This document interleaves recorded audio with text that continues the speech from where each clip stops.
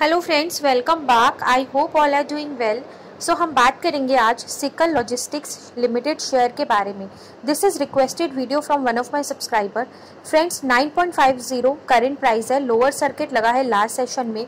Trading restrict है on account of IBC IRP stage one में है शेयर सो फ्रेंड्स इसमें अभी सिर्फ़ Monday to Monday trading start है। मतलब मंडे को ही ट्रेडिंग होगी। सो नेक्स्ट टारगेट इसमें क्या अचीव हो सकते हैं, वो बताऊँगी आपको. एंड फ्रेंड्स एक बहुत ही इंपॉर्टेंट न्यू ऑफिशियल अनाउंसमेंट आई है जो आपको पता होनी चाहिए. सो मार्केट कैप काफ़ी कम है. फंडामेंटल्स आप देख सकते हैं नेगेटिव में है. टी प्लस टू डेज़ का सेटलमेंट साइकिल है. लॉजिस्टिक सेक्टर से बिलोंग करता एक पेनी स्टॉक है. सो फ्रेंड्स फंडामेंटल्स इतने अच्छे नहीं है. ये चीज़ आपको पता होनी चाहिए. बहुत ज़रूरी है.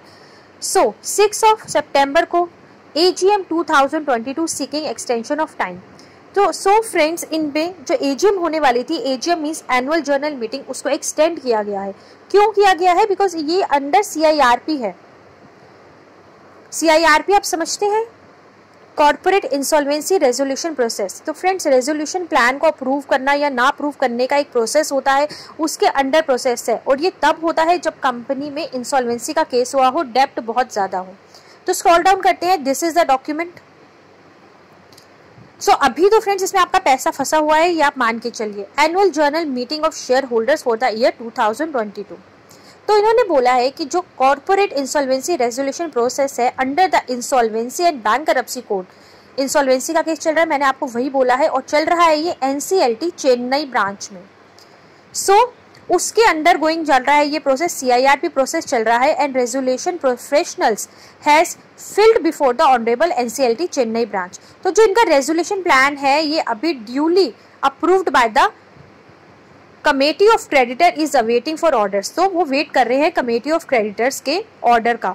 सो so फ्रेंड्स अभी आपको समझ गए होंगे कि डेप्ट के रीजन से इंसॉल्वेंसी के रीजन से एक इंसॉल्वेंसी के रीजन से CIRP चल रहा है। उसी के रीजन से शेयर ये डीलिस्ट भी हो सकता है फ्रेंड्स और ट्रेडिंग दोबारा नॉर्मल वे में स्टार्ट भी हो सकती है।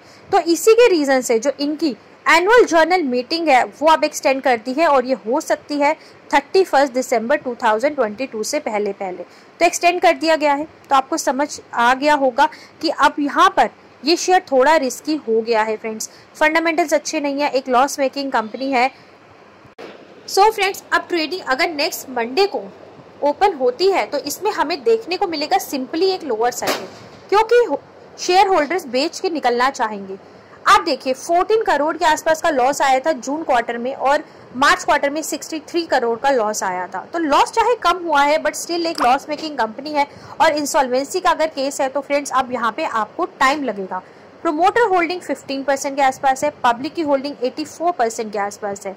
सो so, एक लॉस मेकिंग कंपनी है चुका है एंड अब आप इसमें नेक्स्ट क्या टारगेट देख सकते हैं? फ्रेंड्स आप इसमें देख सकते हैं नेक्स्ट टारगेट अब 9.30 का नेक्स्ट टारगेट आप लेके चलिए। एक सिंपल सी बात है एक लोअर सर्किट लगेगा अगर मंडे को ट्रेडिंग स्टार्ट होती है तो।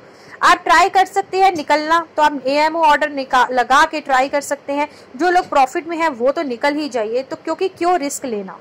सो so फ्रेंड्स जो न्यू अपडेट था, मैंने आपको बता दिया। आप केस चलेगा। केस फ्रेंड्स हमेशा लंबा चलता है। आपको पता होना चाहिए। यहाँ पे आपको टाइम लगेगा। अगर आप ऐसे प्रॉफिट में है या रेट टू रेट भी है तो निकल जाइए। ये सबसे अच्छी चीज़ है। So this is all about Sical logistic limited share next target क्या आएगा, वो भी बता दिया मैंने आपको। अगर आप निकलना चाहते हैं तो निकलने का ट्राई कीजिए। एएमओ ऑर्डर लगा के रखिए। अगर क्या पता आपके शेयर्स एग्जीक्यूट हो जाए और आप निकलने में सक्सेसफुल हो जाए। So thank you so much friends